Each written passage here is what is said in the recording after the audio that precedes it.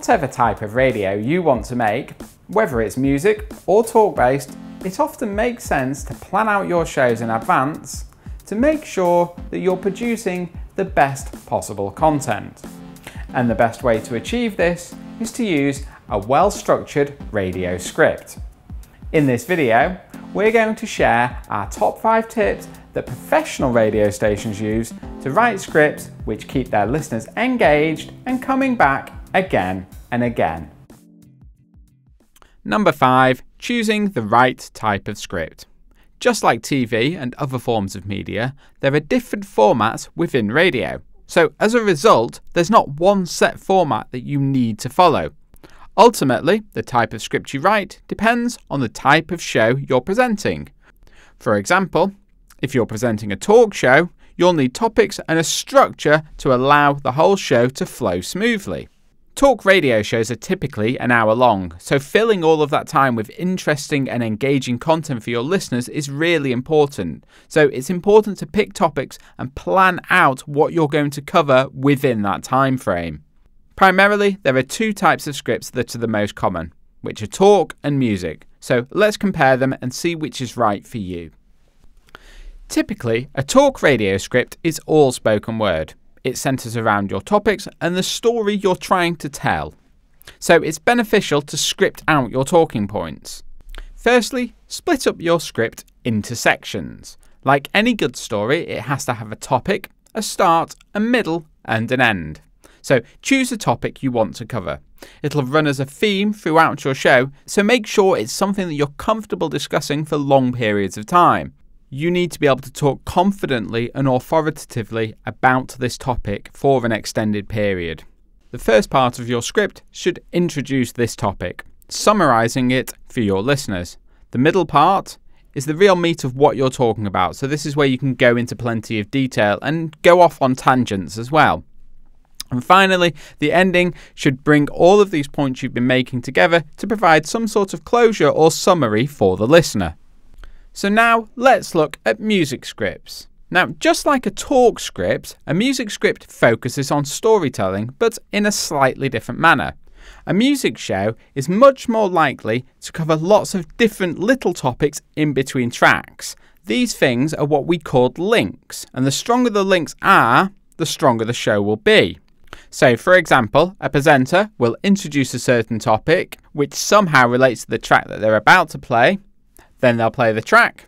And then after that track's played, they'll pick another topic which links the next track to the previous topic or track that was played. So now let's look at that in a little bit more detail. So the basic structure of a music show is something like this. First, the jingle is played. This sets up the scene and introduces the show and the presenter.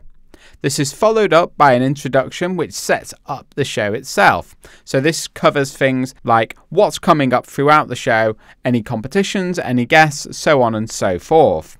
Then a track is introduced and played, and any listeners that have enjoyed that will be interested to know a bit of trivia around that track. So it's a good opportunity to talk about the artist or the band. And then this provides you with a smooth transition into the next track that you're going to play. And most music radio shows will typically repeat this process over and over throughout the entirety of the show. So they'll play a jingle, an intro, song, and then a bit of trivia. And they do this to accommodate new listeners who may be tuning in halfway through a broadcast.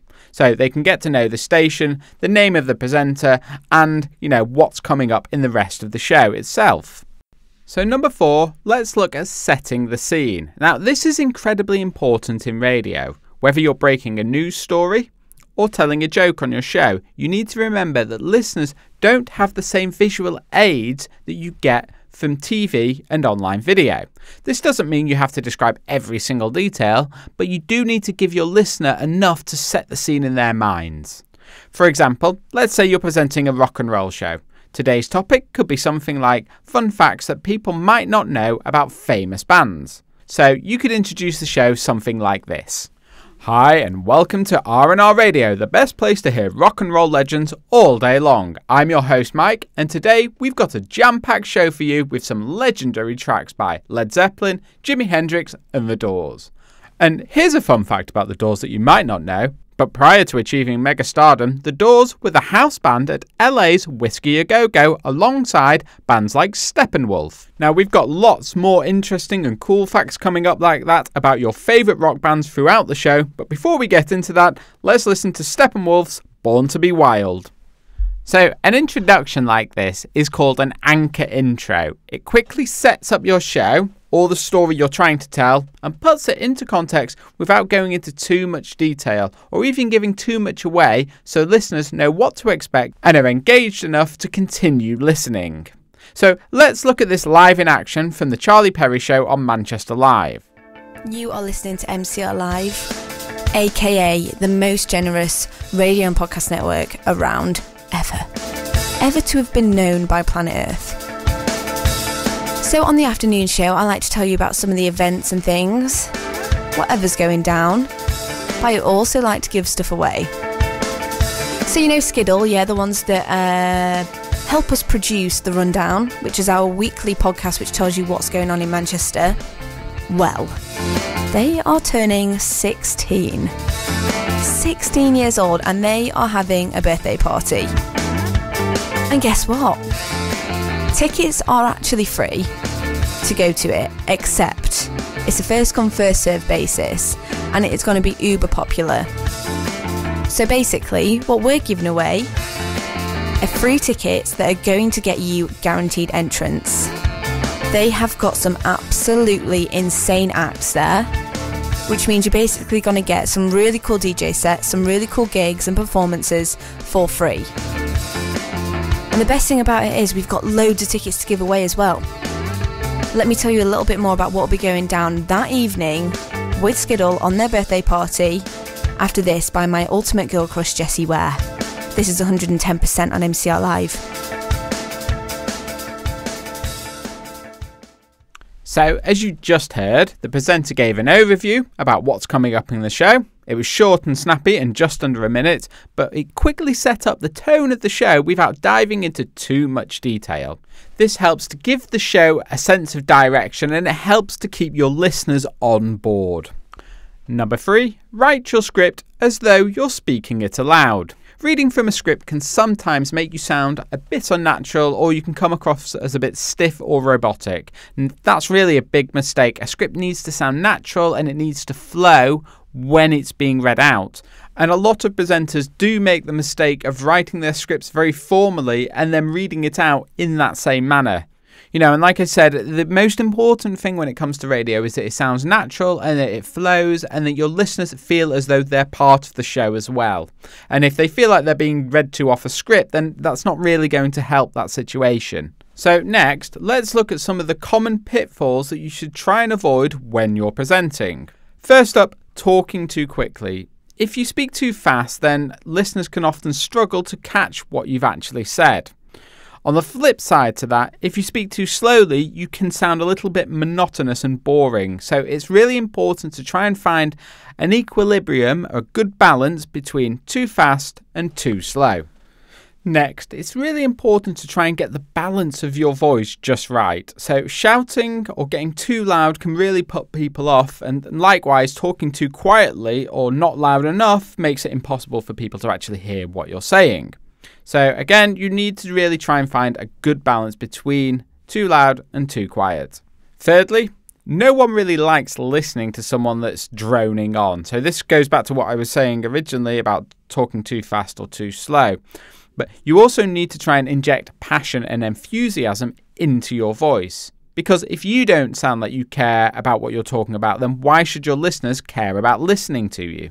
And lastly, try not to second guess or question yourself too much. This can make you sound really indecisive and it can put people off, especially on live radio.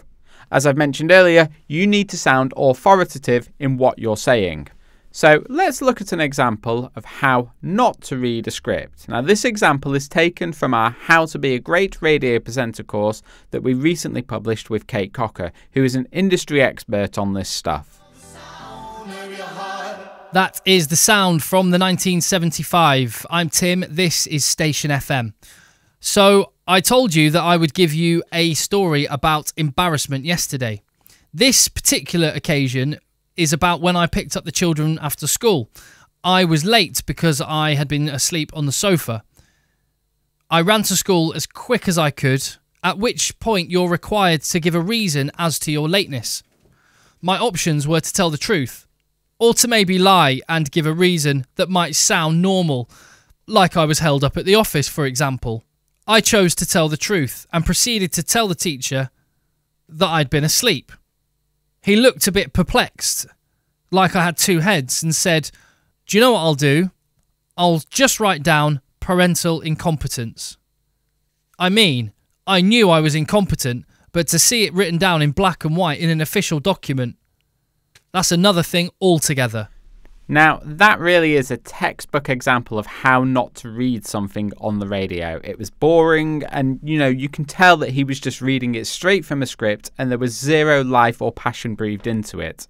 You know, as I mentioned, you should always write with the thought of speaking naturally and having a good flow in mind. You know, and alternatively, if you're given a script to read from, make some notes and read through it a couple of times so you're comfortable enough to say it in your own words and in your own voice. And you should also really try and pace yourself. You know, it's not a race. You know, you really do need to treat it more like a conversation with a friend. You know, for example, you, you wouldn't shout at your friend, so why do it to your listeners? They want to hear engaging content, so keep it lively and keep it fun. And finally, make sure you know what you're saying. So, like I said, read through your scripts before saying it. This way, you won't question it as you're reading it out. So, let's now look at another example, but this time done right. And actually, before we do that, I just want to point out if you do want to take Kate's course, then head to radio.co forward slash courses. And if you input the code Secret Presenter 50, you'll get 50% off Kate's course. The course itself is absolutely packed full of tips like this, and ultimately, Kate is one of the leading industry experts around radio presenting. She's worked with all of the biggest DJs and stations in the UK, so it really is an invaluable course, and I can't recommend taking it enough. So let's get back to the presentation now and look at that example that I just mentioned. Cracking tune from the Killers. If you thought that was good, just you wait till I blow the cobwebs off 10 amazing 80s records a little bit later on on Station FM. But next, I have got to tell you about something that happened yesterday. Now, have you ever gone crimson in public? Have you ever felt pure shame and embarrassment? Well, I did yesterday. I felt like the worst dad on planet Earth, and I'll tell you why next. So now, let's move on to tip number two keep it simple. Whenever you write a script, you really do need to try and keep it as simple as possible. Adopt the KISS method. This stands for Keep It Simple Stupid. And it basically means don't add any fluff or unnecessary words into your sentences that don't add to what you're trying to actually say. You know, as I've constantly reiterated throughout this presentation, radio shows are at their best when they sound natural whether they're fully scripted or not. So make sure your grammar is concise and your scripts are succinct and to the point, because this will allow you to actually improvise and expand on what you've written. And our final tip mix things up. Now, the great thing about broadcasting your own radio show is that you can experiment. You can see what works and what doesn't. You know, you can really mix things up. So why not try changing your show's runtime or its format? For example, you know, you could feature an artist in an hourly slot, playing some music from their back catalogue and talking about the things that have inspired them. Or you could try presenting a show that is focused around a certain period in history. So it could be music or from the 60s or 70s or even from the 80s. And this also gives you the ability to go off on tangents and, you know, introduce some interesting facts and fun trivia for your audience. You know, but the point is ultimately it's really good to try and just mix things up sometimes. You know, it gives your show a different flavour, and ultimately, bringing in new segments to your shows helps to keep your audience interested and engaged. So there we have it. Hopefully, these five tips will help you write awesome scripts for your radio shows. And don't forget to let us know in the comments below what's worked for you. And if you haven't already started your station with radio.co, then head to try.radio.co and begin your seven day trial today.